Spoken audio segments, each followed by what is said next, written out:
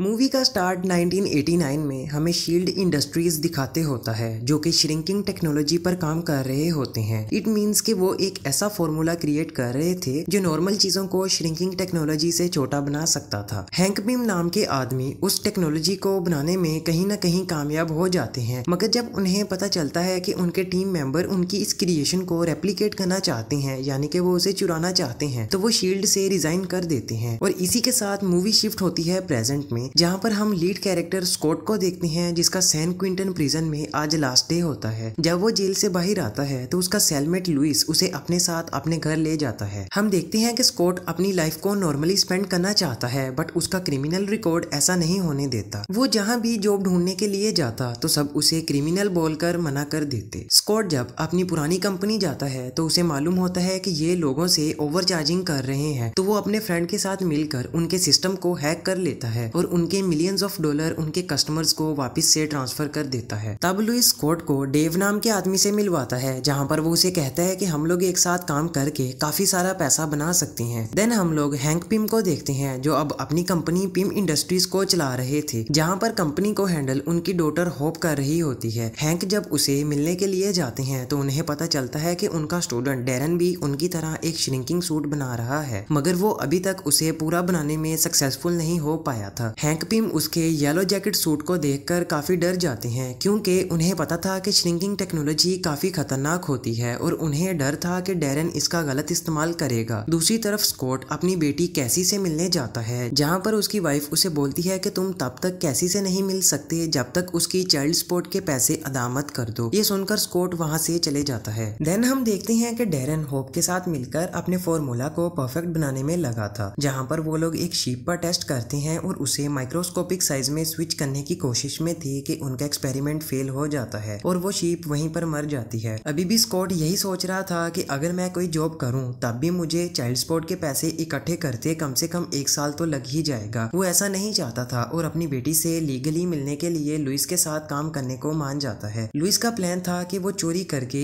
एक बार ही सारे पैसे अदा कर दे। वो लोग अपने प्लान के मुताबिक एक घर में पहुँचते हैं, जो कि हैंक पिम का ही घर होता है। उस घर की सिक्योरिटी काफ़ी टाइट होती है, मगर स्कॉट भी एक एक्सपीरियंस्ड चोर था। इसीलिए लुइस का एक दोस्त टेक्नीशियन यूनिफॉर्म चुरा कर घर की इलेक्ट्रिसिटी कनेक्शन को ब्रेक कर देता है, जिसकी वजह से हैंक के घर का सारा फ़ोन कम्युनिकेशन बंद हो जाता है। इसके बाद स्कॉट फिंगरप्रिंटेड डोर को हैंक के फिंगरप्रिंट से ओपन कर लेता है, जो कि उसे लुइस की कज़न ने प्रोवाइड किए थे, क्योंकि वो कभी हैंक के घर में ही हाउस कीपिंग का काम करती थी। एक के बाद एक, सभी डिफिकल्टीज को फेस करके स्कॉट पहुँच जाता है सेफ़ तक, जो कि उसका असल टारगेट थी। लेकिन जब स्कॉट उस सेफ़ को ओपन करता है तो उसमें कोई भी कैश, गोल्ड और एक्सपेंसिव चीज़ नहीं होती, बल्कि उसमें तो सिर्फ़ एंडमैन का सूट था। स्कॉट को वो सूट बिल्कुल नॉर्मल और बेकार लगता है, मगर वो खाली हाथ नहीं जाना चाहता था, इसीलिए वो सूट को लेकर घर से निकल जाता है। जबकि दूसरी तरफ़ हैंक पिम ये सब कुछ होता देख रहे थे कि कैसे उनकी सेफ़ से कोई उनका सूट लेकर चले गया। इसके बाद स्कॉट लुइस के अपार्टमेंट में पहुंचकर उस सूट को देखने लगता है, जहाँ पर उसे क्यूरियोसिटी होती है कि आखिर ये सूट इतना डिजाइंड क्यों है? वो उस सूट पर मौजूद रेड एंड ब्लू